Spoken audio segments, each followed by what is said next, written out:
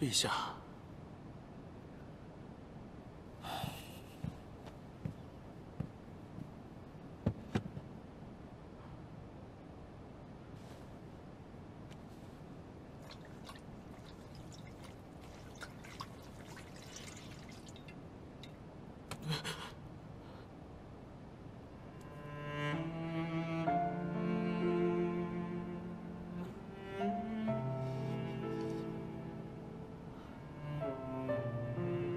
怀志，是你怎么了？没什么。不愿跟朕开口啊？陛下恕罪，因为今日是老奴的一个亲人的忌日，所以一时难免情难自抑。陛下恕罪。你起来吧。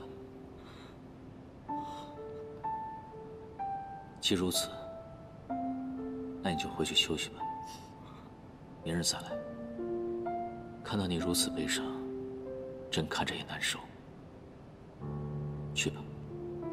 谢陛下。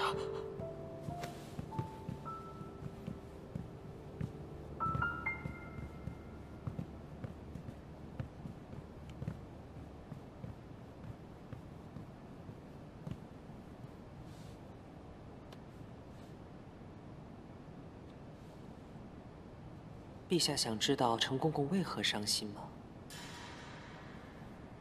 你知道？奴知道。不过陛下还是不知道的好。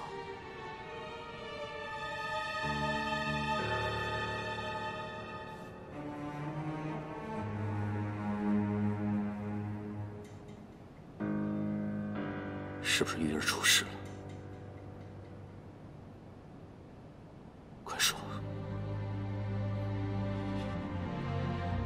问你，是不是鱼儿出事了？快说！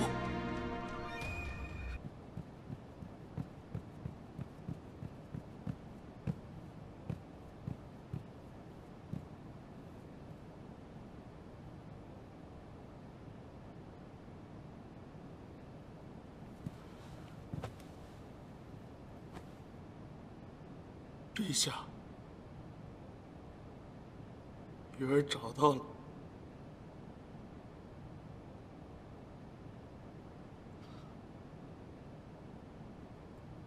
找到小鱼儿，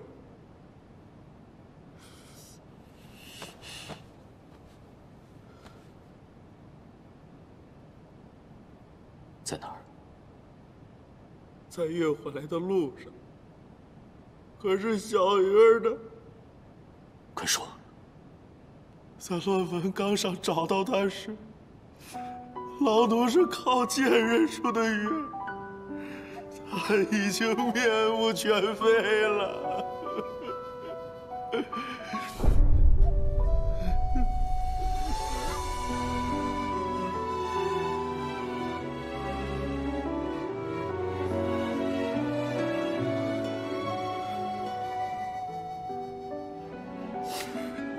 陛下，这是小鱼儿腰间系的那把青光剑，老奴把它带回来了。陛下，黄落还是缄默扁舟，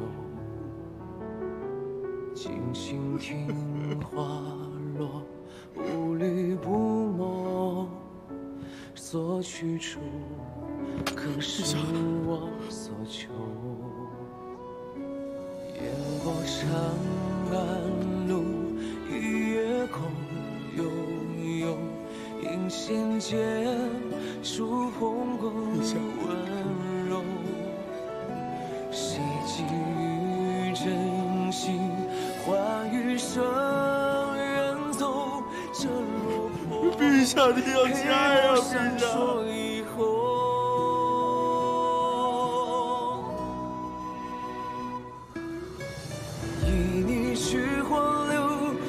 山与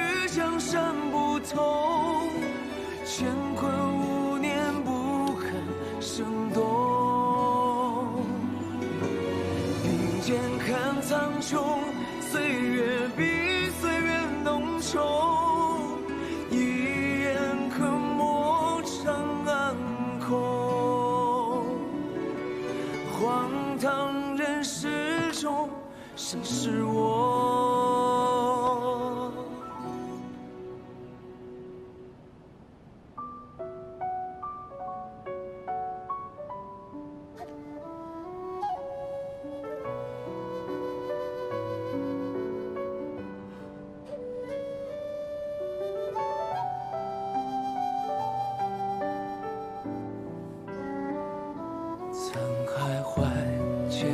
秋，终生环游，尔虞我诈，总感不够。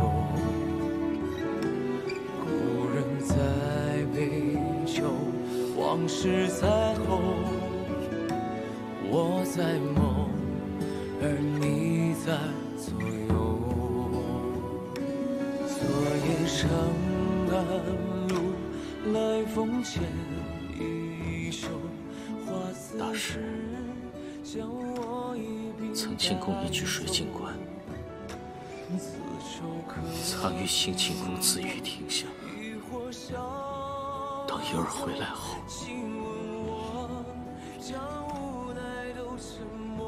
先将他安置在了一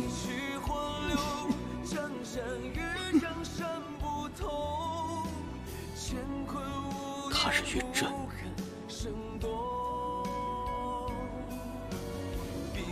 一同安走。岁月比岁月浓稠，一言刻墨上暗空。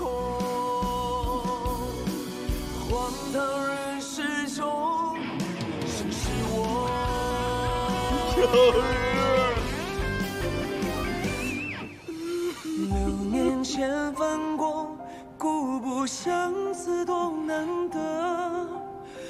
陌路天涯人的烟火。